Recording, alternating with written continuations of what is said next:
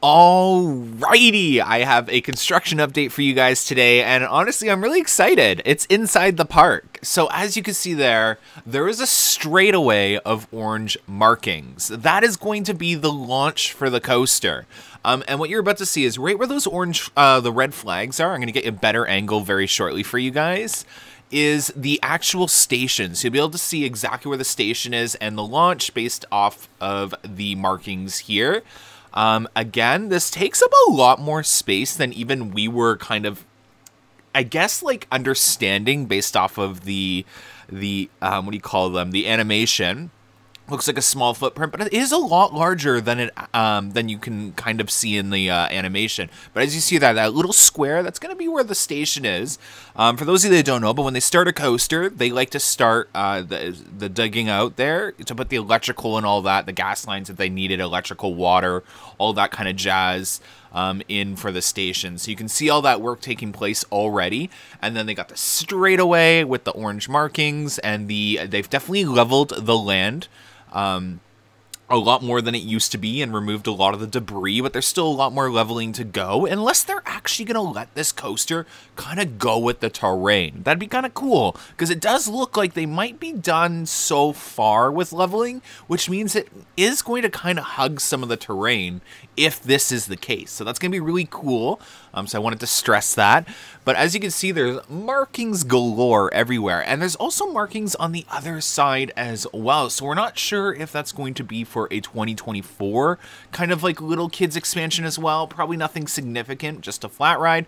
Again, Wonderland is super predictable now in terms of me. I like I know exactly what Wonderland's to do based off of their additions. So already got a really good understanding on 2024 additions.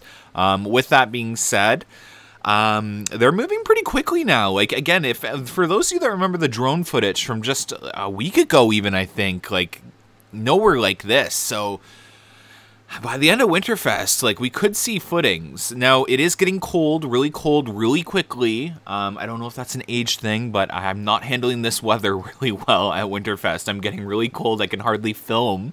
Um, appropriately. Um, but yeah, um, nonetheless, uh, lots of money being invested into Wonderland for next season. I'm going to show you some of the stuff now, still working on some of the other things. So a lot of you know I had mentioned a Vortex um, upgrade. So I've been discussing kind of like Vortex getting some refurbishment done to it.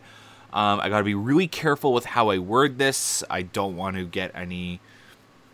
Um, yeah, I, I just got to be really careful. As you're going to see, um, just looking at the ride, anyone can tell that something is going on.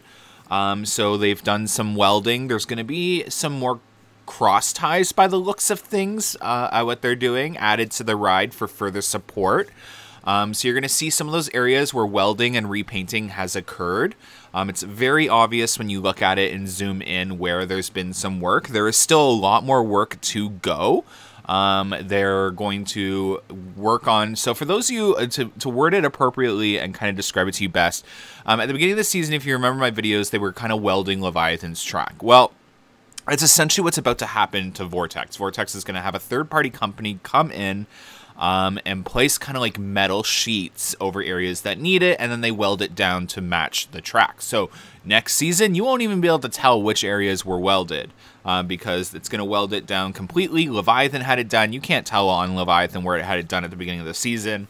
Um, it's it occurs when there's hairline fraction uh, fractures in the track, which is normal by the way, happens all the time.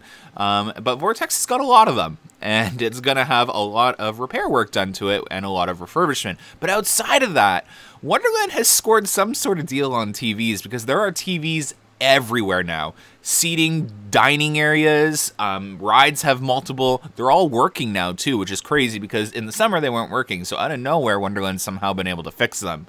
Um, well, they have these new TVs. Um, and it looks like even the flip counter will be working next season because they've been doing some work on the TV specific to the flip counter on Skyhawk. Um, and yeah, so they're going to have ride wait times as well. Um, and all the ride supervisors will have iPads that can control the ride wait times. So that'll be really cool to see. So lots of really cool investments coming into Canada's Wonderland. That's only a few. I can't talk about some things yet because I have to release them at a very specific timing. Just, um, yeah. So stay tuned because Wonderland has got a lot of money coming into it. It's a good time to invest. The Canadian dollar is really low, and the American dollar being invested into Canada saves them about 40% on investment. So, says a lot. Anyway, stay tuned, guys. Hopefully, everyone's having a great Winterfest. Thanks for watching. Bye.